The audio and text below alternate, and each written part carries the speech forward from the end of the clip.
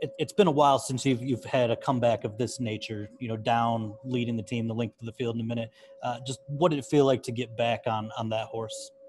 Uh, great, close week one, didn't make it happen, and uh, had another opportunity this week, and uh, was glad to get it done for the guys. I mean, unbelievable plays all around made by our team. Um, great plays on defense, shoot, letting them score. I mean, I, I had my helmet on, thinking the game was probably going to be over.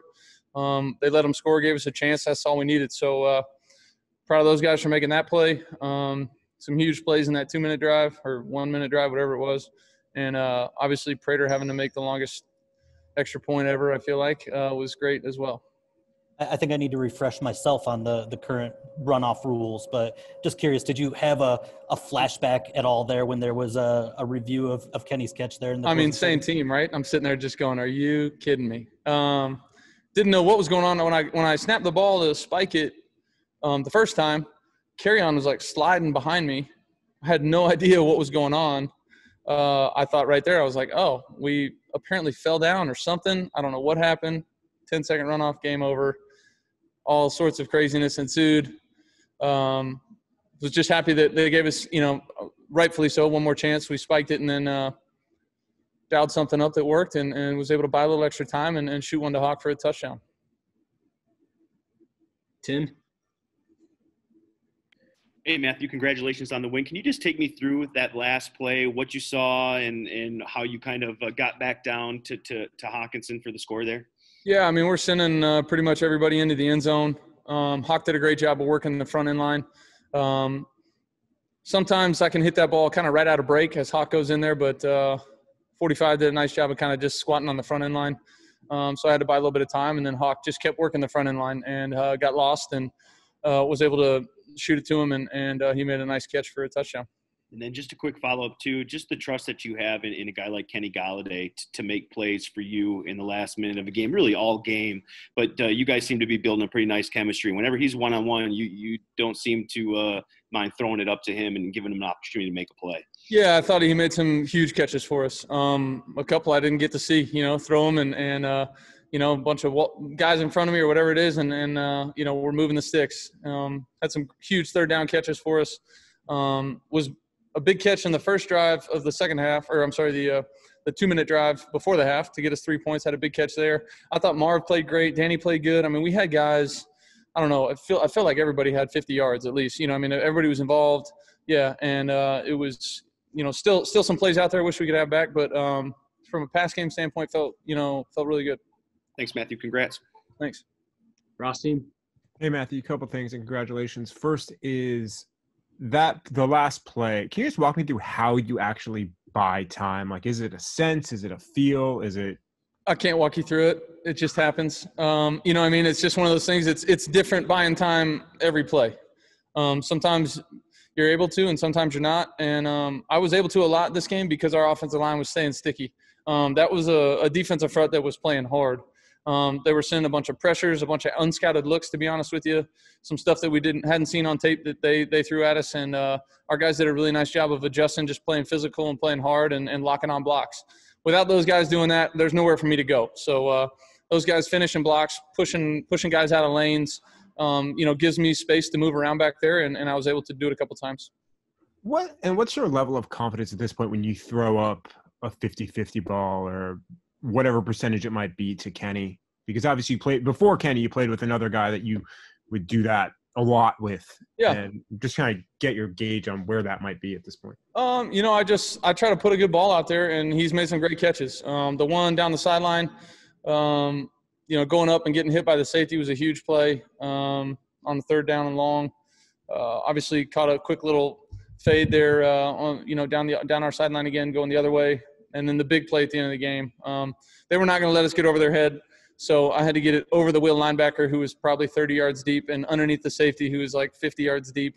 And uh, you know, Kenny was feeling the same thing I was feeling because I had to cut that ball loose a lot, a lot sooner than I wanted to, and really just I can't hold it forever, and uh, just try to throw it into a good spot. And he was on the same page as I was, been in front of the safety, and when he did, he made a great catch.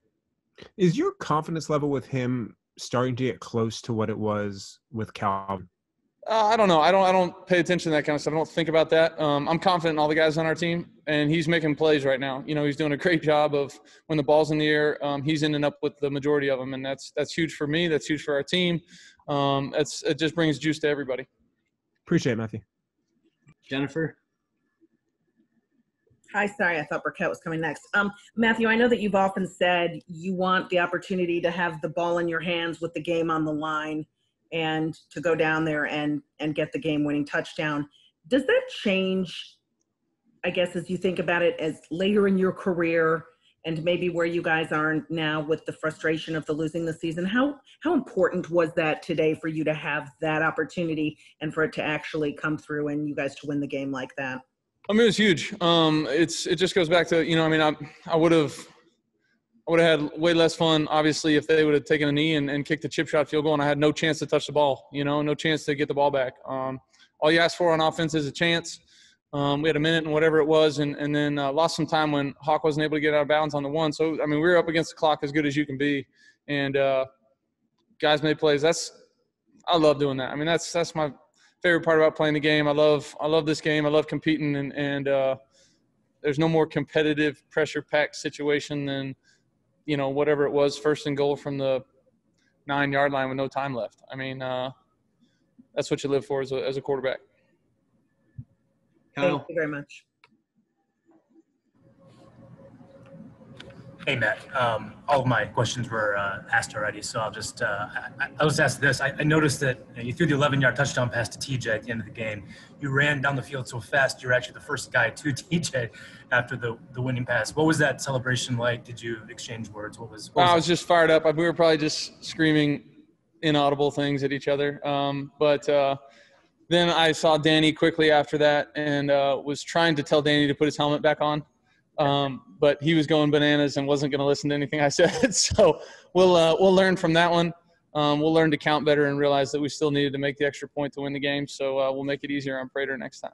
Yeah, I don't know if you saw it either, but Prater was like the first guy up the tunnel when after the PAT, and there was a flag on the field. I mean, maybe he knew where it was going to go, but yeah, I, I, saw the flag too and was not yeah. uh, not happy slash a little scared on what it was. And then I saw this motion yeah. from the and it was illegal formation. I'm like, how did we get it? And then it was on them, and I was yeah, I was exactly. all happy again. Yeah. Uh, last thing, uh, does this mean uh, Matt Ryan owes you dinner? Uh, no official no official wager was made, but uh, I mean, I'll bring it up. I'll bring it up. Thank you, Matt. All right, last one for Chris Burke. Hey, Matt. Congratulations. Um, I asked Coach Patricia the same thing here. He didn't go into too many details, but you guys obviously still work the middle of the field quite a bit on that last drive. Just sort of wondering where your comfort level is when you're watching the clock. Uh, you know, at what point you have to kind of just force things more to the outside than you did there. Yeah, obviously, um, you know, defense understands the situation too. You know, um, they were going to give us some chances down the middle of the field to get some chunks. It's things that we work on all the time, plays that we uh, we know can get us big yardage if we need it. Um, and I mean, Danny had a great catch over the middle. I mean, skying up to go get that one. Um, and then obviously Kenny was, was down the middle as well.